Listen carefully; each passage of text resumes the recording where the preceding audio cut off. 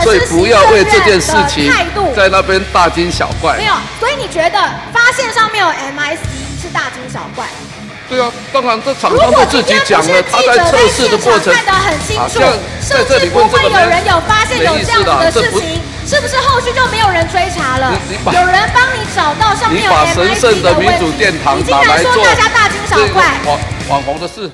二零二三年九月十五号的时候，这个蔡总统去视察无人机，当时我们很开心哦，还跟他报告说呢，我们目前军用的商规非常辛苦，做到了百分之一百没有中国的零件，好，我们觉得是很好的事情啊，我们就是自己能做就自己做。但是呢，今天他去的时候出现上面是 MIC 这个部分，刚刚院长你有回答过了，但我想请看下一张。这个所谓的马达哈、驱动马达上面呢，不止它 MIC 哦，其实你可以看到什么，在大陆的南昌三瑞智能科技股份有限公司制造，而且可以查到售价是三百六十九块美金。我想问一下哦，那针对这次赖准总统去参访，那结果呢？哎，出糗了。请问我们会不会要求这个厂商要做具体的改善？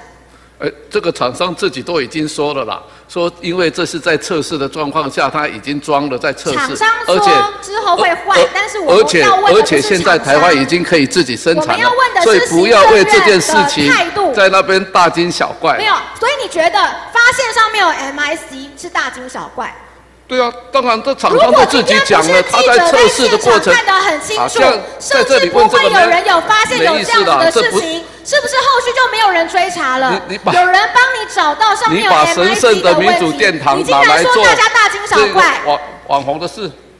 这个跟网红没有关系，我没有提到网红，哦那是前一位委员说的，我刚才请不要就讲了推到我的头上。我是要问行政院的态度，会不会要求厂商未来在参展的时候，也要注意我们所有的